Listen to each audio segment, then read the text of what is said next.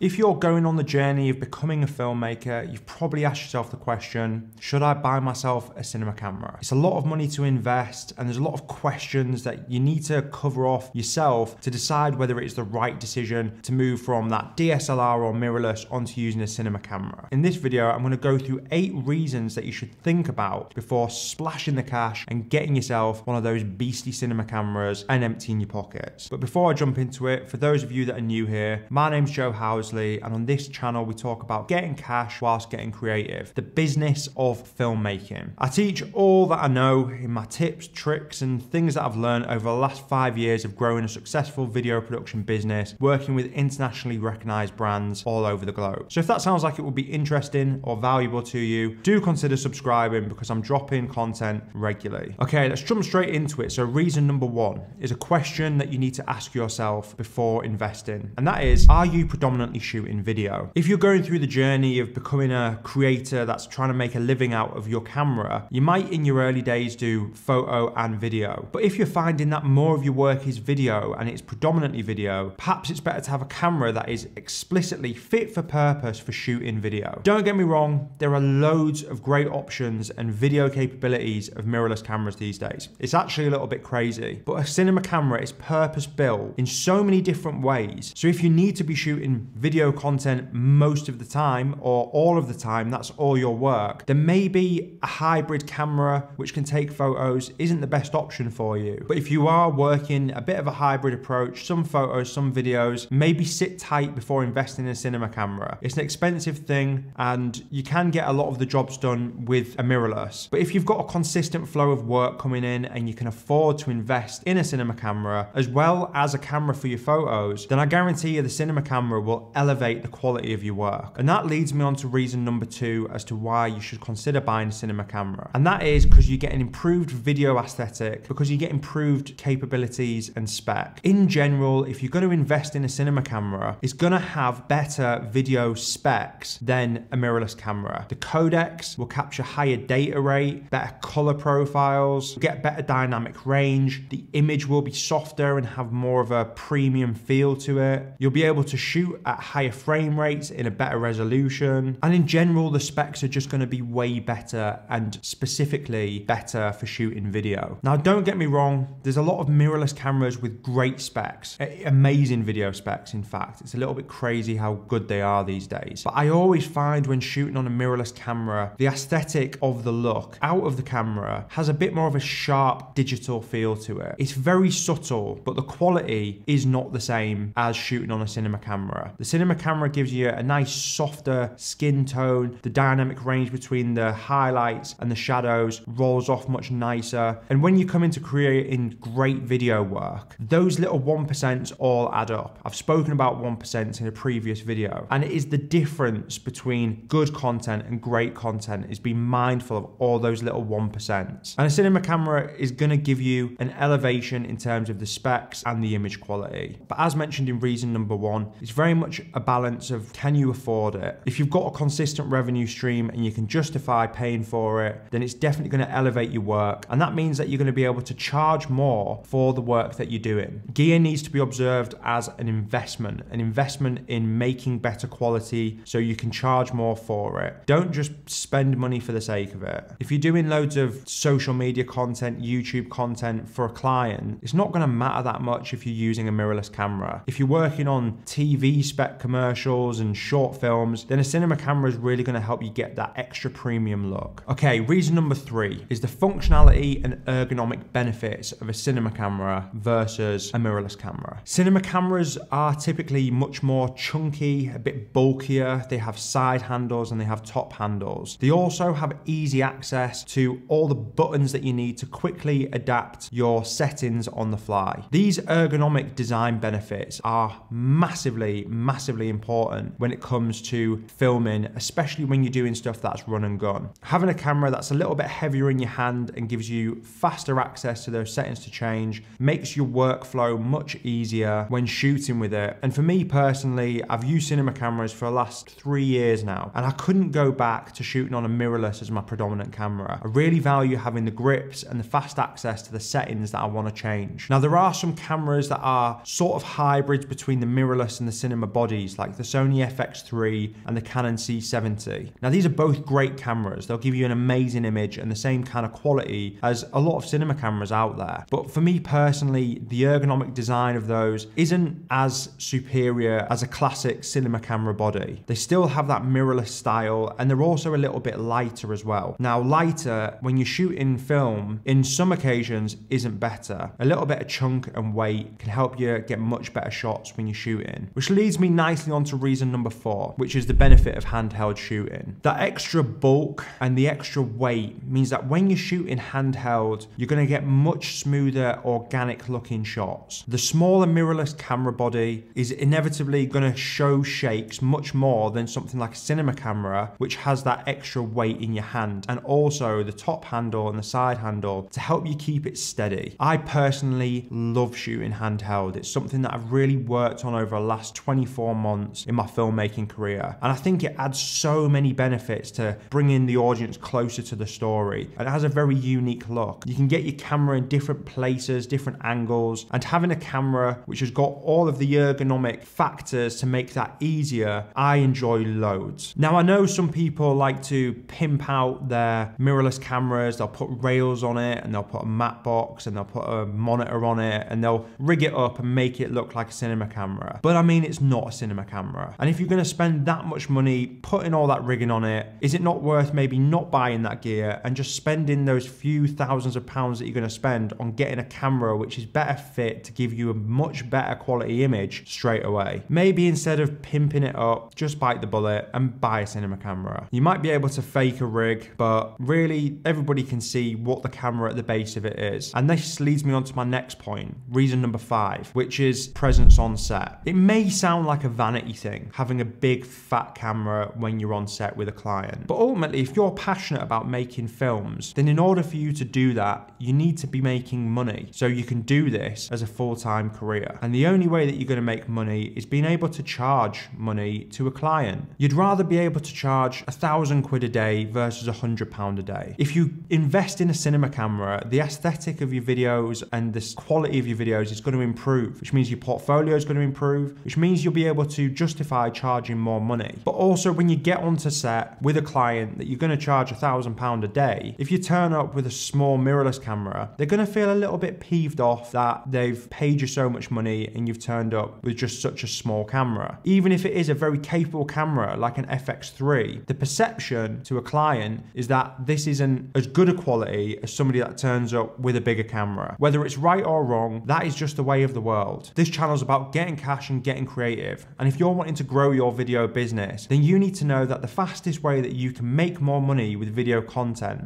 is selling more video to the clients that you're already working with. So every single time that you go on set with a client, especially a new one, your fastest way to make more money is to sell more to them. But every single step in that journey that the client has with you from the first time they interact with you to the email correspondence to how you handle yourself on set are all really important. They're all building confidence that the client can trust you to deliver. And if you turn up on set with a tiny little camera, then the client might have a little knocking confidence that you are going to be able to deliver. And you don't want any bumps along that journey of a client interaction with you. You want them to feel confident that you're capable capable and can deliver for them at every single step. So turning up with a camera with a bit more presence and a bit more bulk, even if it's got the same specs as one that's a little bit smaller, is gonna just reinforce that confidence and help you build that client relationship and make more money. It might seem a bit strange to link so many things together, but these things really matter when you're trying to grow a video business. Just to extend on that, it's important to understand that when you're on set, you are essentially selling yourself and your video production company. The nature and benefit benefit of this business is a lot of times one client will put you in front of one of their clients to make a video. And the client of your client that you're in front of is a prospective business that you could do video with. So the better impression you can give to them on set is going to give you a higher probability of getting new business out of them as well. So not only is it about developing your current client, but every single time that you're on set and present yourself with more presence, it's going to give you a higher probability of getting new clients as well. Okay, next up, let's talk talk about audio. If you're really looking to take filmmaking serious, then you need to understand that the backbone of every single piece of video content is the audio. It's 50% of the experience. Good audio is as important as good visuals. And this is something that I think a lot of rookie filmmakers struggle to grasp at the start. A cinema camera is fit to give you quality audio straight out the gate. Most high quality microphones require an XLR input, and 99% of cinema cameras will enable you to put an XLR straight into the camera and capture audio from a high quality microphone. And most cinema cameras internally have pretty solid internal capabilities and EQ settings, so when you're receiving the audio into the camera, it doesn't really need a massive amount of work in post production. If you're doing a lot of run and gun work, it actually can save you money by getting a cinema camera with that XLR input to enable you to capture audio. Instead of spending hundreds of pounds on an external recorder, you don't have to worry about that. The audio feed goes directly into the cinema camera and is embedded directly onto the video itself. If you're doing a lot of run and gun work, this can be super handy. I use it all the time. And it can also help you out and save you on occasion. I'll give you an example. A couple of weeks ago, we were shooting with Aston Villa Football Club doing this corner kick challenge. We only had a couple of lav mics available, but all of a sudden they wanted to do more people, so more players and more attendees doing this corner kick challenge than we originally foresaw. The only microphone that I had was on the presenter, but we had three players and three people doing this corner kick challenge. Now I needed to capture audio from them, and I had the NTG3 Rode mic with a dead cat on on top of the Sony FX6. And you know what? The audio captured on it was great and absolutely usable for the content that we were producing. Having a cinema camera where you can put in a really good microphone, capture audio directly into the video, saved me then, and it will save you on occasions if you invest in a cinema camera. Okay, so reason number seven is having an internal ND. Having this feature inside your camera is great. You essentially have an ND that goes directly over the sensor. You don't need to get different NDs for different size lenses, and you don't have to have them on the end of your camera, hindering you from adding any extra filters that you want to add. It's right there inside the camera, and you can adjust it from the camera body. ND filters are essential for shooting in pretty much most environments apart from the night. Having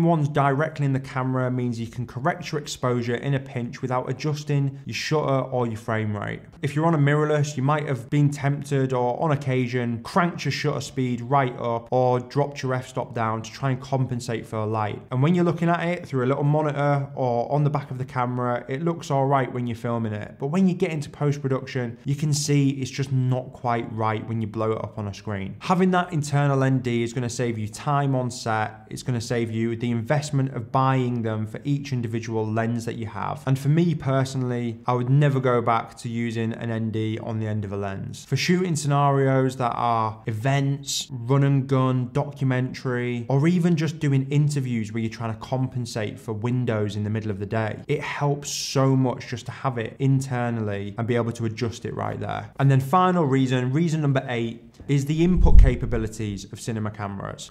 The cinema camera is purpose built for video. So all of them tend to have a normal size HDMI where you can plug in any monitor you want. A normal HDMI input and output is always less hassle I find, but also it can unlock capabilities of your camera which you wouldn't get on a mirrorless. You can get monitors which enable you to export raw video files directly onto them and you can only do that with a HDMI output. This enables you to really get the most out of the capabilities of your camera. You can record in the highest data resolution, and when you're dealing with really working on a color grade, getting the most data that you can of the footage when you're shooting will really help a colorist bring that to life. Have I used the external raw HDMI recording very often? No, but it's good to know that it's there on occasions when you do need it. For a situation like filming a TV commercial, for example. Also, another useful input capability that you get on cinema cameras is time code. So if you're shooting with multiple cameras on a live event, or you're doing something documentary style where you've got external audio being recorded on multiple cameras, having that time code can really help just match everything up and make the edit much easier. Again, it depends on what your shoot scenarios are. For me personally, I very rarely use time code. But again, it's good to know that it's there on the occasions that I need it. This final reason of inputs and capabilities really resides in your camera having the functionality to be able to keep up with the opportunities, projects, and challenges that you might have in the future as a filmmaker. Okay, so that's eight reasons why you might want to consider buying a cinema camera. If you enjoyed this video, I'd appreciate it if you hit the like button, drop a little comment on there. These things really help the algorithm. And if you're interested in cinema cameras or making that investment, I check this video out here that I did on the FX6. It's the cinema camera that I own and it's pretty damn good.